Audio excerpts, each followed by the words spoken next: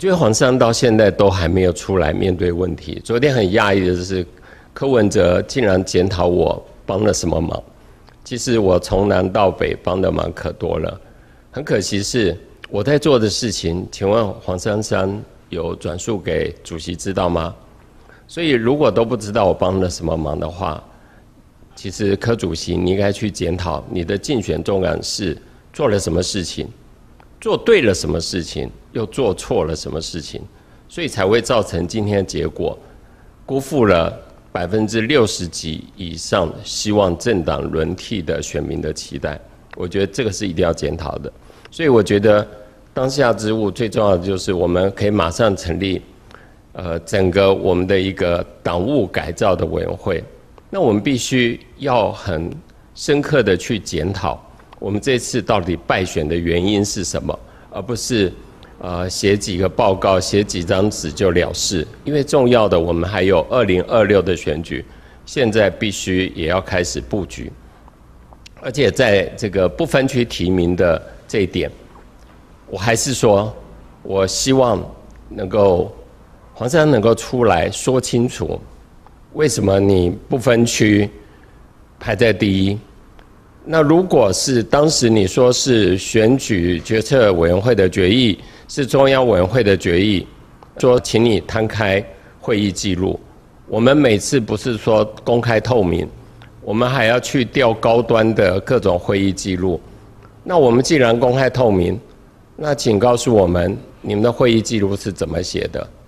黄商，你真的是如何排到第一名？如何跟其他政党不同？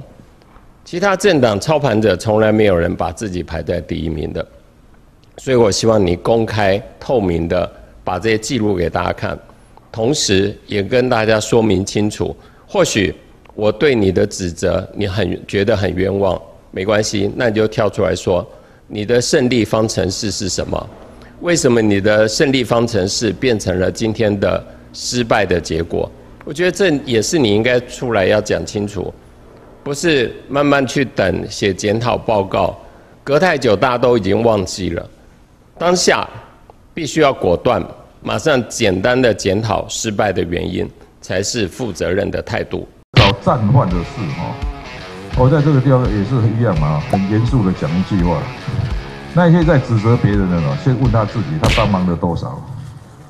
因为现在就是包括刚刚谢谢立功他已经发文，他会说他指明黄珊珊应该要辞掉他的立委，因为他没有达到 KPI。然后国民党那边他们也发文，就是说说是你自你现在呢才知道，就是说到底是谁没有穿裤子，而且黄珊珊当初公布的都是假民调，现在看起来都是在找战犯。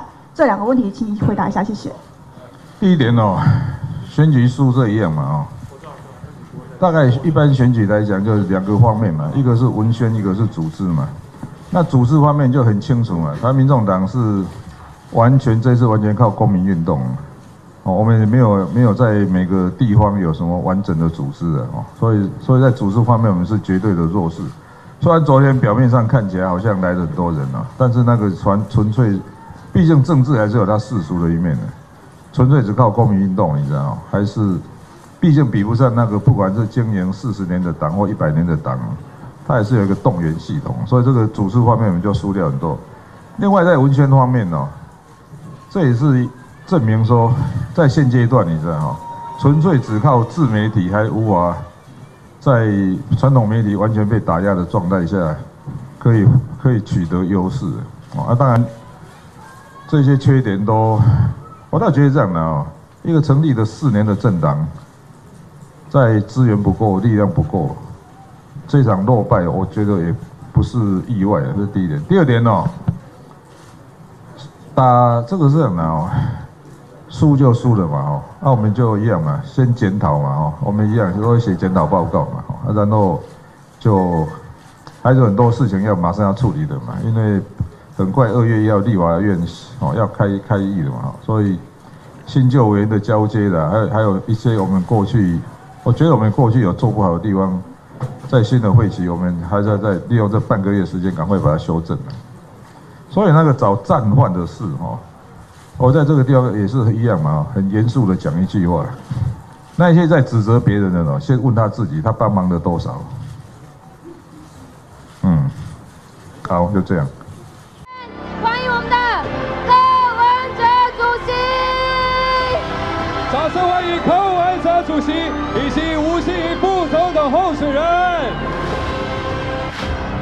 来，各位。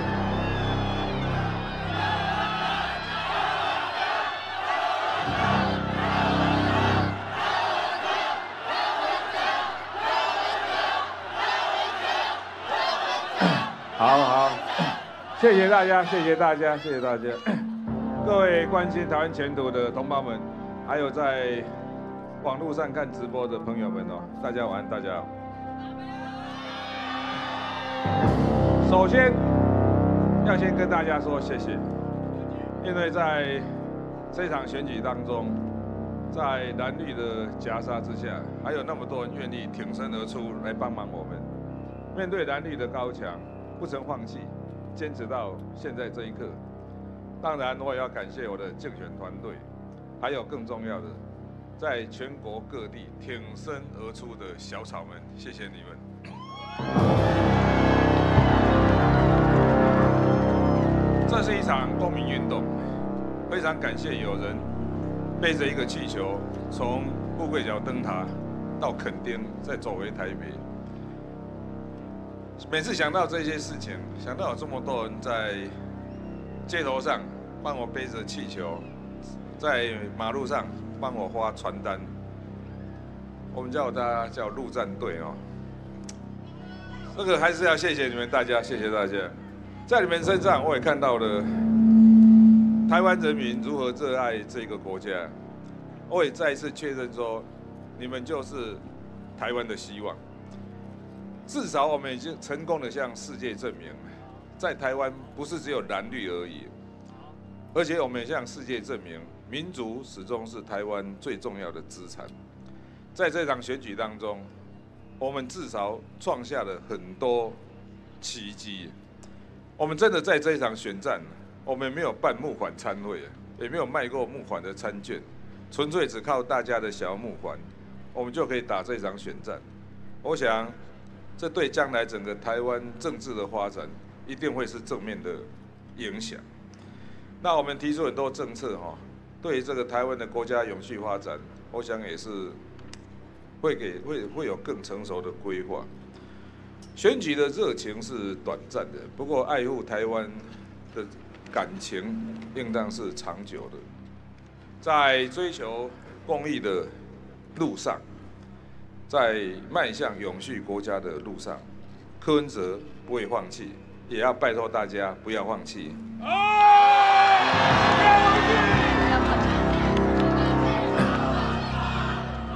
因为，不要忘记，因为你们始终都是这个国家的未来，你们也是柯文哲跟台湾民众党可以继续奋斗的理由。那在这一次，台湾民众党至少已经成为一个关键的在野力量。在这个地方，我要以台湾民众党党主席的身份，再跟大家说一声谢谢，谢谢你们的支持。每一张选票都是表达对我们的认同和肯定。这也是台湾第一次在蓝绿夹杀之下，撑出了三党鼎立的全新局面。这也代表台湾真的需要蓝绿以外的声音，而且这个声音会成为国家的新方向。民主政治再也是一个监督的力量，也是政治的良心，也是人民可以依赖的力量。所以，我要请你们不要放弃，因为我不会放弃，台民众党不会放弃。我们一直在这里，继续当台湾的良心，做你们的靠山。各位亲爱的台湾人民，台湾民众党在这个地方承诺，我们不会辜负你们的期望，我们会坚持我们的信念，守护这个国家，守护未来。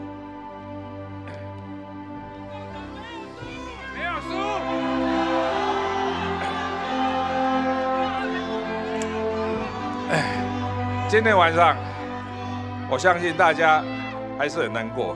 不过我们没有难过的时间哦，因为这个国家会继续往前进，所以我们也要继续的努力下去。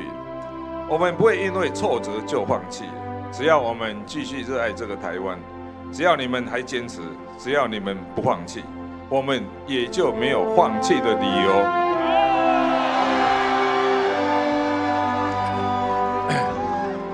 明天早上，我们还是七点半回来上班呢。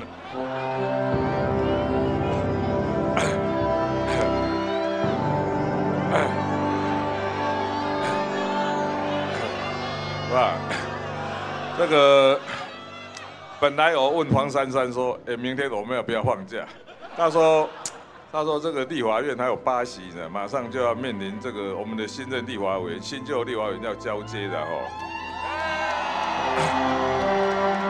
所以，虽然明天是星期天呢，但是他我们还是七点半会来上班的。你今天晚上可以沮丧一下，但是明天起床后记得打起精神，因为我们要继续为了我们的未来而努力，因为我们只有一个台湾，终究我们的未来还是要靠自己去救。只要我们继续努力下去，下一个四年，我相信我们会赢得更多的认同，团结更多的力量。下一次，我们一定可以执政，一定可以赢回这个国家。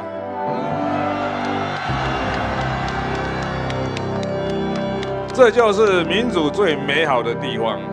只要我们勇敢向前，理想就有机会实现。让我们继续义无反顾拼下去。义无反顾，拼一次，义无反顾，拼下去。对我来讲，在这过去十年，不管是执政或者是选举，我都把它当作是一个改变政治文化的社会运动。既然这个运动还没有完全实现，那我们就要继续的努力。不过，大家也不要沮丧，毕竟我们已经跨出。迈向成功的第一步，我们一定会继续努力。四年后，我相信我们还是会自信的把票投给柯文哲，把票投给台民众党。